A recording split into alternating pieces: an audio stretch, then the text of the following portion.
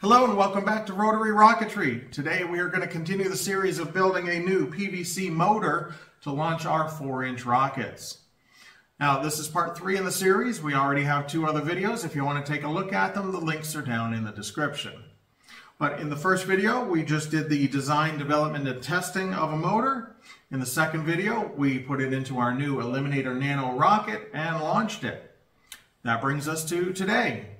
Now, with the launch, there were some issues, and specifically because this motor has an unusual burn curve, it's what's called a progressive burn curve, it doesn't have a lot of thrust at the beginning. And that was noticeable when the rocket left the rod.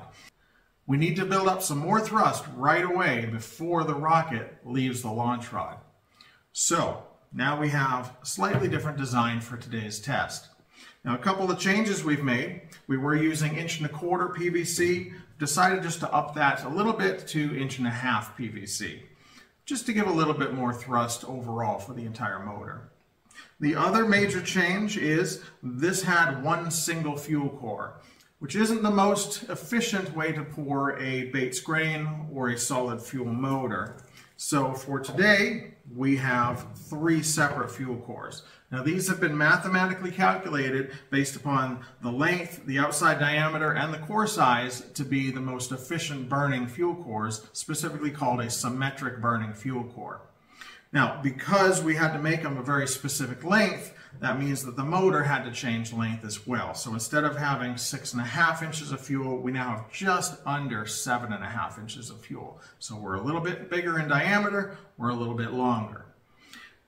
Now, this has a number 20 nozzle, and this one that we launched before had a number 20 nozzle as well. And we're sticking with that just for the test. This may build up too much pressure and this may explode. That's why we're testing.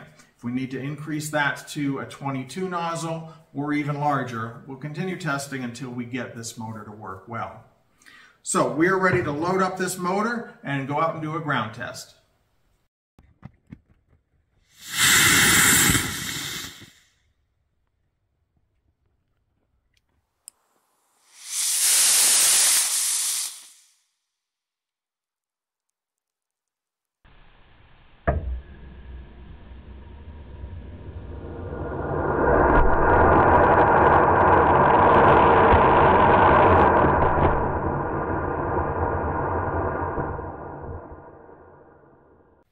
Now that was a really good ground test. The scale ran a maximum of 129 pounds of force. And we know that scale was damaged from a motor explosion a while ago, so it's not exactly very accurate, but we're probably somewhere around 115 to 120 pounds of force. And we got a solid two thirds of a second of a burn time because of the more efficient fuel cells in there. So that's all good data. Now, because this motor is really in a good place here as far as power and burn time, you might think, well, let's just throw this in the rocket and launch it and this project would be done. But you'd be wrong. Because one of the major things we were trying to do in the development of this was make it the simplest, easiest to build motor.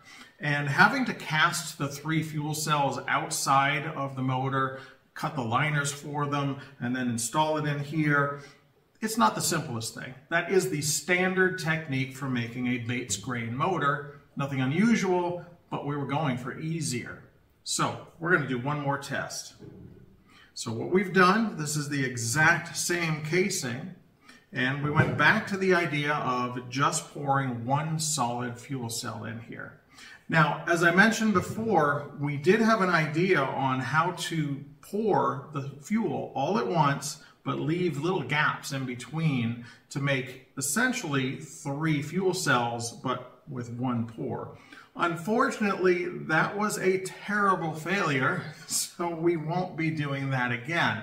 Uh, we ended up just wasting this nozzle, PVC, and a whole batch of fuel. But that's why we try things to see if they work, and that one did not work. So we're down to either casting three individual grains separately and then installing them into the motor or one single long grain. Now this is the motor that we used on the launch on the last video. It's inch and a quarter PVC and it has one fuel cell in there that's six and a half inches long. So why do we think that we can go back to a single fuel cell? Well, there's a couple of differences in this design. Now, first of all, we have switched to the inch and a half PVC. Now, that's not going to make any change to the initial liftoff and the initial burn of the motor because that's the outside diameter of the fuel and that's not burning during the liftoff. But it will help with overall thrust and, and altitude of the rocket, hopefully. The changes that will improve this motor over the other one on launch is, first of all, it's a little bit longer of a fuel cell. This is six and a half inches, this is seven and a half inches.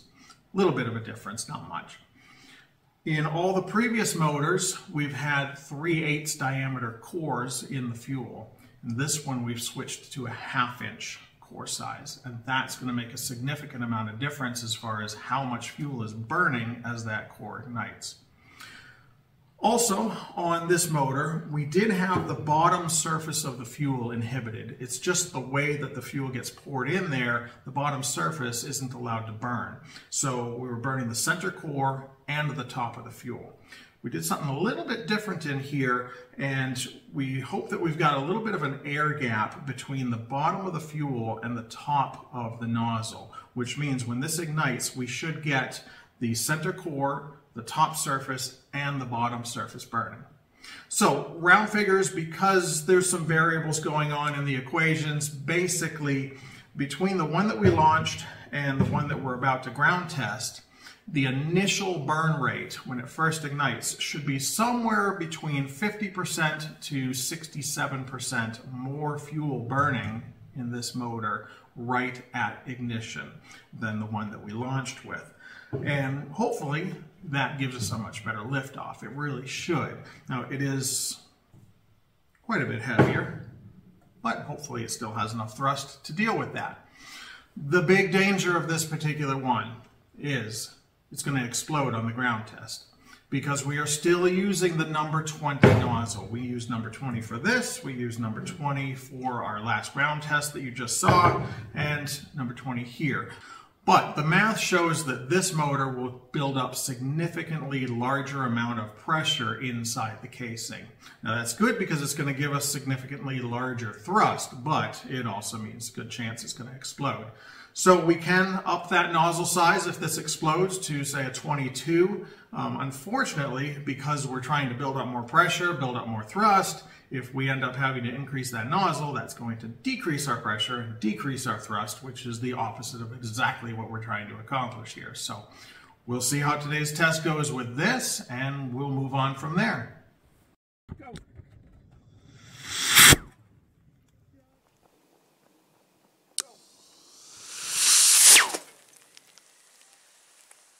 And it's gone. Uh, what? All right, so now might be a good time to mention some safety when you're dealing with experimental rocket motors. You probably should assume if it's an experimental motor that it's always going to explode. If it doesn't, that's great, but assume that it's going to explode. Now, that was a really big explosion. The blast radius was about 200 feet in all directions around that test. We actually found a really large piece 188 feet away from the test. So be a safe distance away, use some kind of barrier. We usually have our car doors open and we're standing on the back side of those car doors with the windows in front of us as well.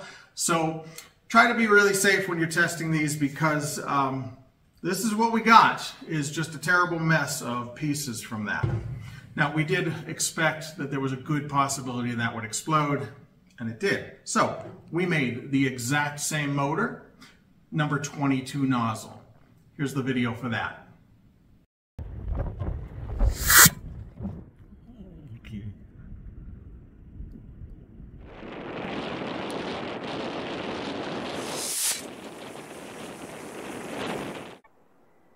What the hell was that? So it did explode, but not really the same way because clearly we have a casing rather than bits. On that one, the end cap or the bulkhead simply blew off. Now, we've developed PVC motors in the past and we've seen that exact same situation happen. This is just the first time it's happened to us on this particular experimental motor. And basically what happens is uh, it's just heat and pressure. The top cap has no protection inside. It's just directly exposed to that burning fuel that's just about half or three quarters of an inch below it. So it gets hot and it just explodes. Uh, it doesn't happen or tend to happen on smaller PVC motors, but when you get bigger, it tends to be a problem, and we clearly have reached that point. So, again, we built the exact same motor, number 22 nozzle again. Now in the cap on this one, which is clearly missing, but in the cap, we poured in a layer of anchoring cement into the cap before it was glued on. So that acts as a heat protector for the cap. Here's the video for that.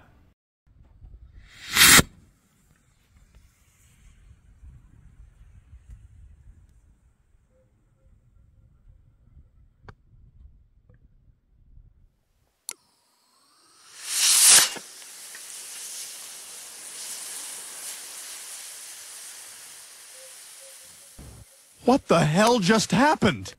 So as you see, um, that one pretty much did the same thing, maybe a little bit different. It, it blew the cap completely off, uh, and it still was all in bits everywhere. It didn't blow it off in one piece.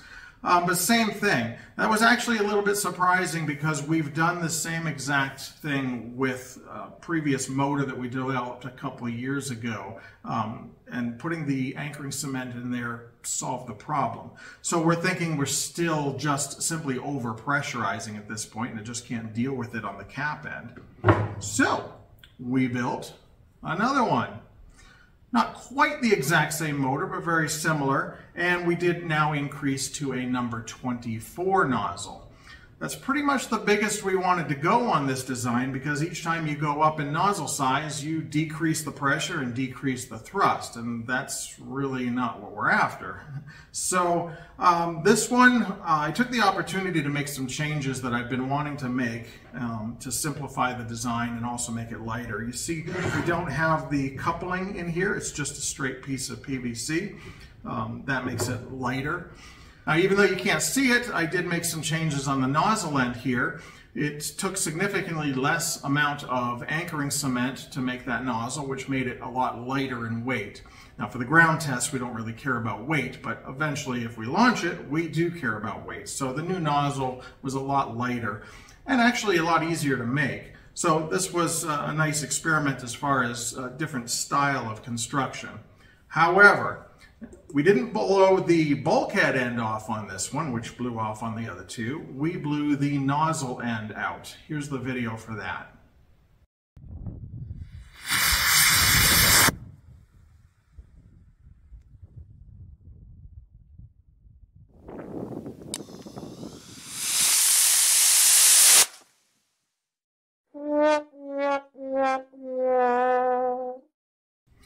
So uh, that was really unexpected. With the number 24, you see we got a really long burn time on that. Um, the scale showed pretty good thrust. It was reasonable, um, probably a little bit less than what we were actually after because of the number 24 nozzle until the fuel actually really started burning and then it took off and exploded. Um, but it was really unexpected that we would blow the nozzle end off of the um, motor like that. So that was a little disappointing because I really expected that one to work. So we're going to go back to the drawing board and do a little bit more testing and experimenting and see where we want to go from here.